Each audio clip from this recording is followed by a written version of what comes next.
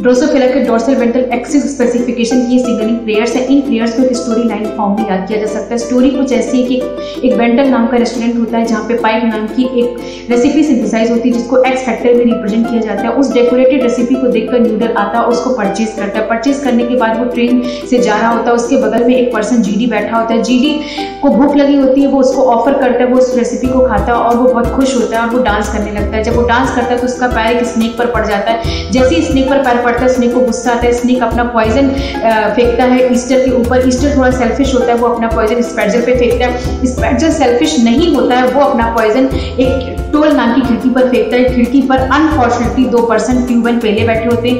पेले cactus को phosphorylate कर देता है कैक्टस डिग्रेड हो जाता है और इस तरह से डोर्सल हो जाता है अकेला और डोर्सल फिर चला जाता है न्यूक्लियस में और इस तरीके से ड्रोसोफिला का वेंटिलाइजेशन हो जाता है। ड्रोसोफिला के वेंटिलाइजेशन के लिए डोर्सल को न्यूक्लियस में जाना पड़ता है।